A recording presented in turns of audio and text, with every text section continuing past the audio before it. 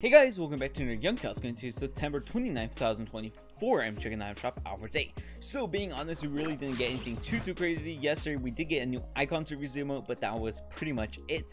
I'm not sure though if we will be getting anything new in the shop. We do have some uh, bundles returning, including like the Lady Gaga, I saw the iTalk bundle as well, but scrolling through it, it doesn't seem like we do have anything. Yeah, I'm not seeing anything new, but let's just go over what we did have returning.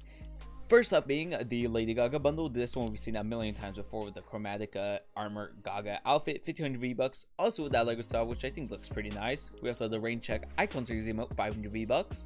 The Chromatica uh, base, this one is 1000 V-Bucks, pretty expensive actually, as well, uh, sorry, 800 V-Bucks, as well as the Chromatica mic.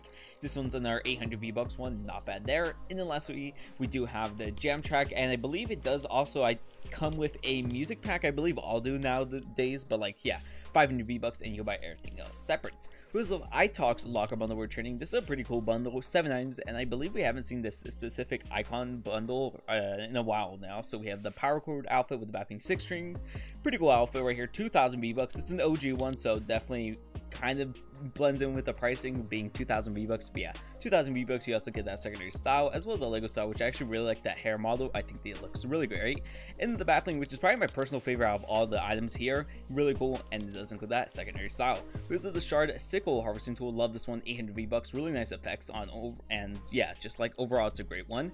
And then we have the Tie-Dye Flyer. Flyer, not too much with this one. It does have some pretty nice animation, but that's just about it. We pick it up also returning 500 V-Bucks. This one, I believe, is pretty rare, so yeah, nice. And then we do have the Lotus Star wrapping. This one's only, oh, sorry, it's 500 V-Bucks, but it does include a pretty nice animation. I think is a really great one. Overall, pretty solid bundle. You can buy everything else separate as well. Going down here all the way to the bottom, we also have Swift returning, Ghost Enforcer, and Trespasser Elite. Some pretty random outfits, 1500 V-Bucks, 800 V-Bucks, and 1200 V-Bucks. We also have the Edge Factor bundle still here from yesterday's shop, and that is it for today. So yeah, pretty cool shop. Hope you guys enjoyed this video. Make sure to subscribe if you guys are new. Just like and hit that bell. Bye!